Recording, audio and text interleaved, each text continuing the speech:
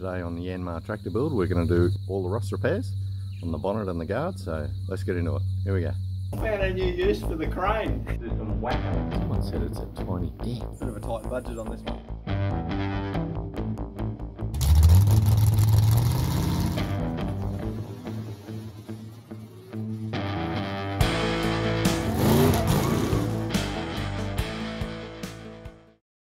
So here's those uh, mud guards I was telling you about.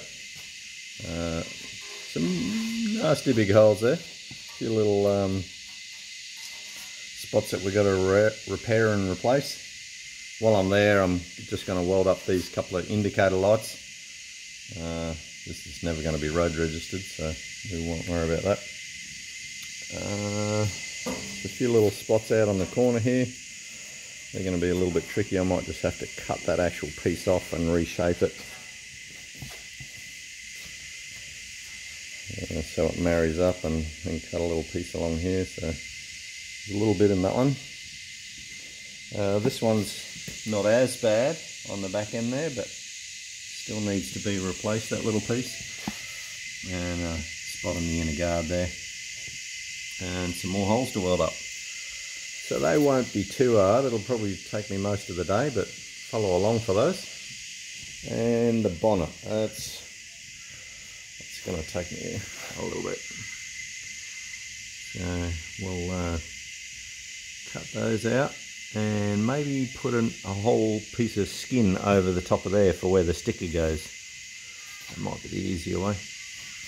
And tidy this little piece up. I'm thinking about with the front to replace that all together, I've got some nice LEDs to put in there and they won't fit in those holes and this is all dented and knocked about so I might as well just replace that whole piece, you know, see where the screws screw in there. I've got to make the whole base uh, like connecting part to the front of the tractor sort of like there where the bonnet actually connects onto the front there where the radiator and everything is. So there's a bit of work involved with that. And a couple little pinholes there, I might be able to weld them, I'll see how we go. And give it a bit of a scrub up and get ready for Gary at AMC Restorations. He, he said he's happy to give it a paint job for us. Put a comment below on what colour you think it's going to be. We uh, got a bit of a surprise for you. It's not black. But uh, let's let's get into them. Hey, let's start cutting some steel out of there out of these little spaces and uh, put some replacement bits in. Here we go.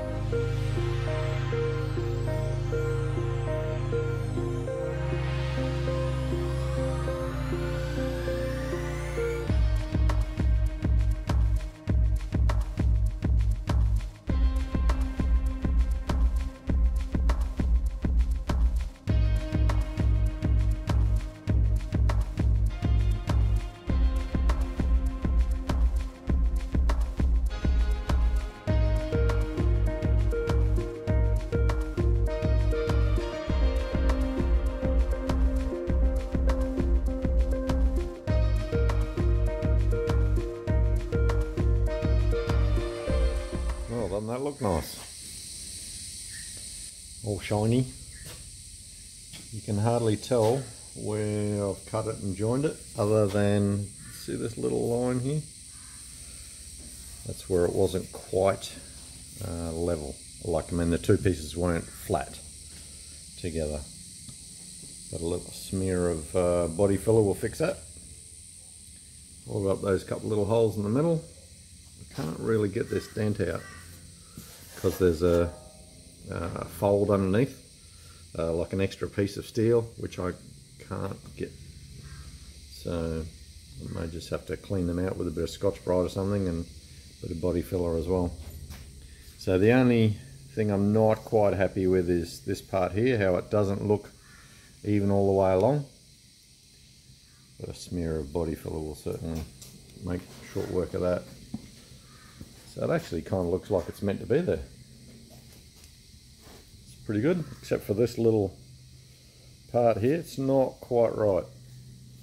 But that might panel beat out. Gary uh, from AMC said he'd be able to have a fiddle with that. And so that guard's sort of all done. I will Scotch-Brite all the rest uh, so the paint will actually stick to it. And same with that handle.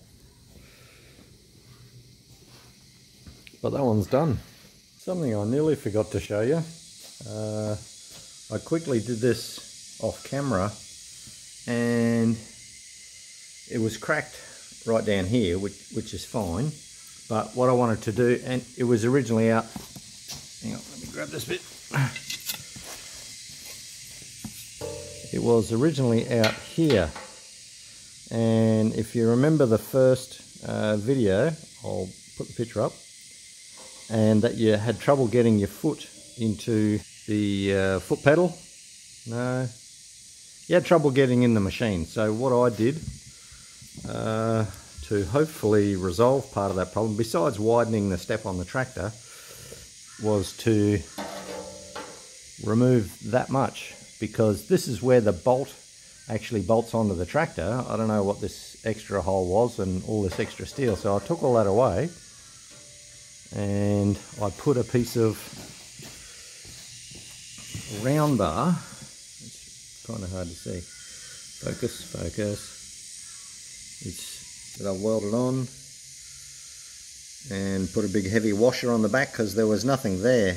Uh, it was just thin, uh, a thin sheet metal, and this this body, this guard's only made out of one mil. Where all the other bolt holes have got an extra layer, so and this one was cracked. So I thought, well, maybe it needs an extra. So that's what I'm doing. Uh, so it gives it extra strength and it resolves that problem of trying to get the, your boot in there, hopefully. Doesn't look too bad with a little kick in there. Looks all fancy. Looks like it's meant to be there. So this is uh, what it did look like uh, before cutting. So all I've got is uh, the big washer and this bit of rod. So once I actually cut that off, you just weld it on that edge and then put a bit of heat up here where my thumb is and bend it over and weld it on. So, because this one's got a, a crack in it too, so I'm thinking it's going to keep cracking if I don't do something with it, with that heavy washer. Once I put this heavy washer down here and weld that on and put that bit of rod there. So anyway, just thought I'd show you that bit. I forgot to show you before. So it's a improvement to the guard and adds a bit of strength. So let's get into the other one. Eh? Here we go. So that one's all done, as we just saw, and the front bit's all cut. And I've got this one sort of all uh, ground back, and I panel beat it out. There was a big heaps of divots. Divots the right word? It was out of shape anyway. I had a couple of big creases in there. So I've knocked all them out and I've got it marked out where I'm going to cut some pieces out for rust and everything. So with the magic of uh, the internet and editing and my amazing ability, I'm just going to click my fingers and it's going to be done. Here we go. Boom! How's that? That's uh, got to be the quickest welding job I've ever done. Got all nice lines there. That's all joined. Uh, well, we won't talk about this a little bit bit of body filler. got all the dents out of the top here. That was that was pretty bad. And did majority of all the pinholes all along the back here. They're all done. That's just a little bit of filler to get the ripples out because I had to panel beat it afterwards. And there was a bit of a ding there, so I sorted that out. And while I was there, I cut the front piece out, you know, the front bit that was went up that way. And gave it the strengthening with the 6mm round bar. So it's all done. Just like that one. So now we've got two guards. There's a lefty and a righty. So anyway, now we've got to get the bonnet done. So let's get into that. Here we go.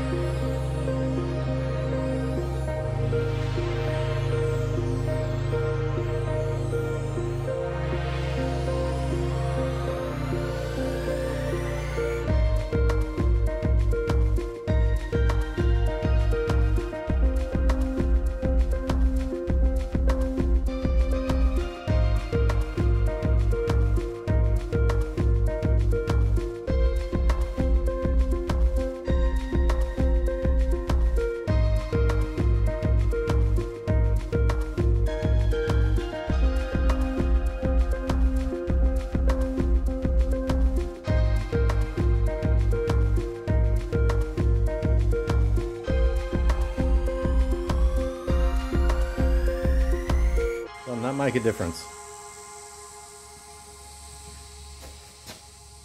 It, uh, it looks apart. All those little weld holes in there, they'll all uh, sand off. They'll be fine. Woohoo!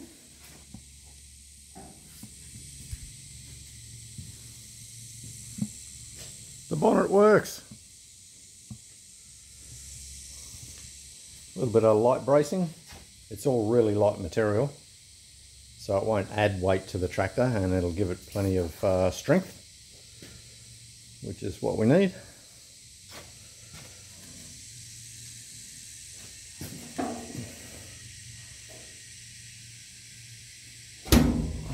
Done. I'm really happy with that. It's even in the middle. Anyway, so uh, I'll make this little surroundy thing for the two LEDs and I think I'm to have the grill lower, like stepped in, so it nearly comes flush with that. Because if I have it too far out, when I do hinge it, it'll bash under there. So we don't really want that. Might just make some rubber stops or maybe a couple of short chains or something and pull them back so when it tilts forward it'll only go so far. You won't be able to go all the way forward and damage the sheet metal at the front. Really happy. Doesn't look much but that's a big step. This little old tractor's been sitting here for months and months and wasn't doing anything.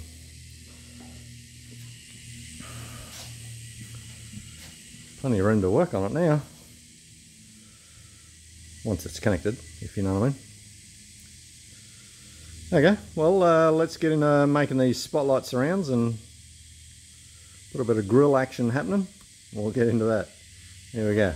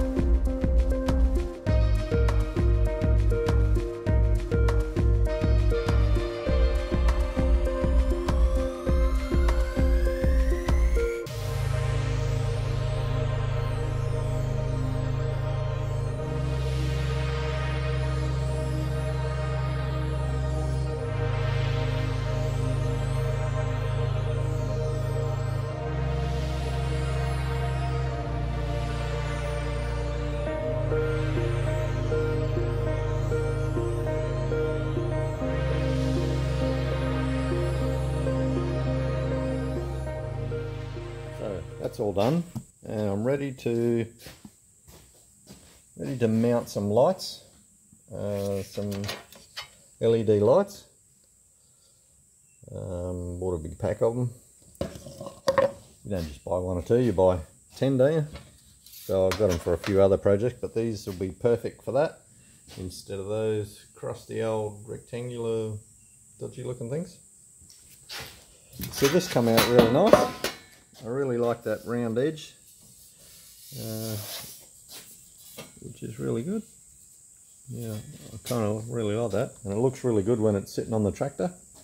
But before I can do any light mounting or cutting out for the lights, uh, I've got to fix a few little rust spots because you'll, you'll see just that edge there, that very edge. And there's a couple of spots here, so, and this piece is just it's just hanging in there. So if I take the bonnet off and do these rust repairs before I start mounting that whole sort of I don't know who's that guy from Star Trek? What's his name? Looks like that that really cool guy from Star Trek where he has those glasses across his face. So I will take the bonnet off and do a couple of rust repairs. So here we go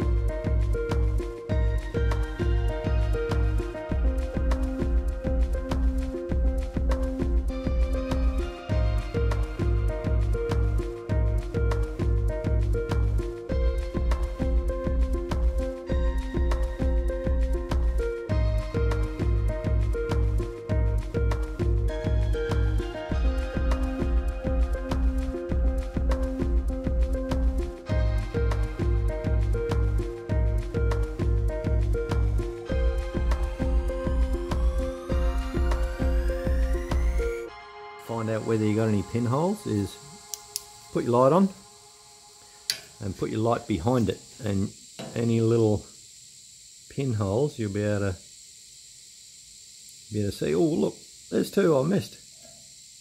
Can you see them? Right there. There's one. There's one next to it there somewhere. Tiny pinholes. Oh, mongrels. So, just when you think you're finished. Yeah, so to check for extra little pinholes that I've just found, uh, just put a light under it.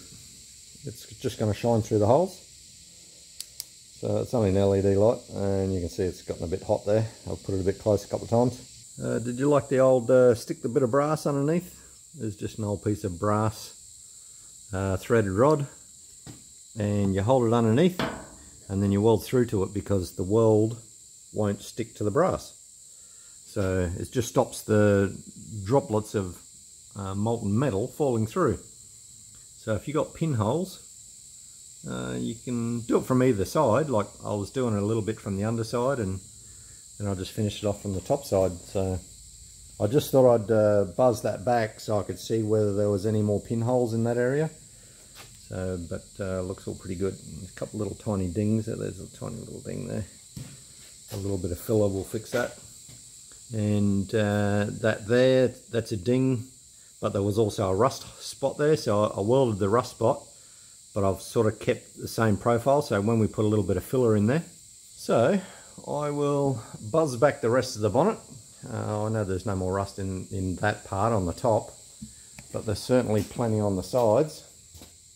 Uh, but what I might do is once I buzz all that back, is I'll attach the uh, light uh, bracket, if that's what you call it, and I'll be welding it on there so it'll be a permanent fixture. So I'll weld that on. Then I'll start attacking the sides like these here. They're really, really bad.